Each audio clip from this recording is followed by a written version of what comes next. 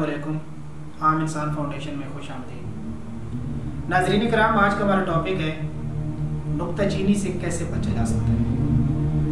नुकता चीनी, जो कि आज हमारे माशरे का नासूर बन चुकी है।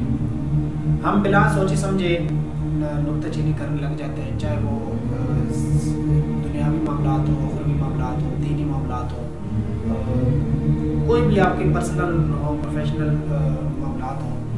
तो बगैर सोचे समझे ना, हम किसी न किसी के बारे में ना एक राय कायम कर लेते हैं। नाजरीन कराम इससे बचना चाहिए।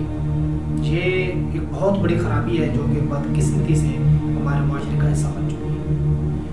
नाजरीन कराम इसका बचने का एक बेहतरीन तरीका ये है कि जिस तरह अल्लाह ताला ने कुरान पाक में फरमाया है, नबी करीम वसल्लम की आदीस भी है, इस हवाले से मौजूद कि जब तक कोई बात आप अपने कानों से सुन ना लें या कोई वाक़ अपनी आँख से देख ना लें तब तक किसी की बात में यकीन मत करें। तचीनी में उन लोगों का बहुत बड़ा रोल है जो कान भरने के शौकीन है, जो कि इधर से भी अपने अपने आप को बनवाने की कोशिश करते हैं और दूसरे एंड से भी।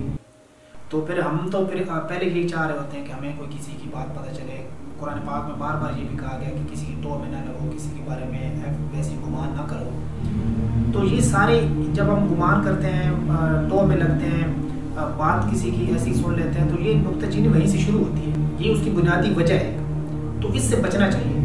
ये आप यकीन माने कि ये बहुत बड़ी जो है ना, ये एक बीमारी की शक्ल इख्तियार कर चुकी है हमारे माशरे में।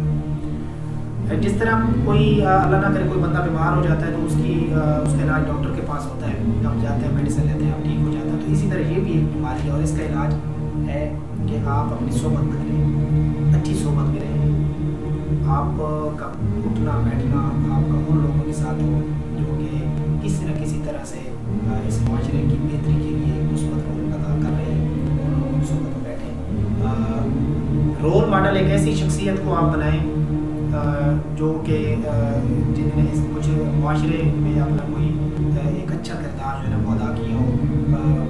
अच्छे फ़कीर अच्छे जो एक लोग हैं, उनकी ज़िंदगी को पढ़ें उनकी बुक्स जो है वो पढ़ें। हमारे तो नाजरीन कराम रोल मॉडल हैं, लेकिन बात किस हमारी ये है कि हमारा उस तरफ़ ध्यान ही नहीं जाता।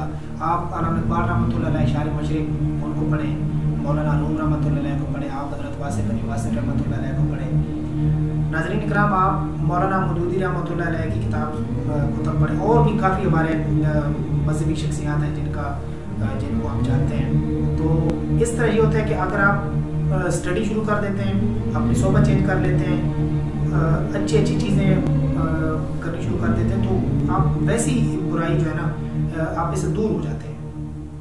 तो इसमें सबसे बड़ा रोल किसका है? सोबत का।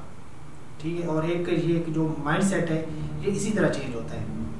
तो कोशिश करें कि इस नासूर का आप हिस्सा ना बने, बल्कि इसको, इस रविश को बदलने की कोशिश करें। चाहे वो आप अपने ज़बान से, अपने अमल से किसी भी हद तक आप माशरे को संवारने में अपना किरदार अदा करें। नाजरीन कराम ये ज़िंदगी नहीं होती कि आप आए, आपने खाया, पिया, सोए और चले गए। ये क्या ज़िंदगी है? नाजरीन कराम ज़िंदगी गुजारें तो इस तरह गुजारें कि लोग आपको जो है ना, वो फॉलो करें, आपकी चीज़ें को। आप जाएँ तो दुनिया को पता चले कि कोई हस्ती आई थी और चली गई। तो हम सब ये कर सकते हैं, कुछ भी नामुमकिन नहीं है। बात सिर्फ़ इतनी सी है कि आप बातों पे अमल करें। चीज़ थोड़ी सी भी सीखें, उसको अपने अमल में ले आए। वो आपके वैसे ही आपकी ज़िंदगी का हिस्सा बन जाएगी। तो अल्लाह ताला हम सबको जो है बातों पे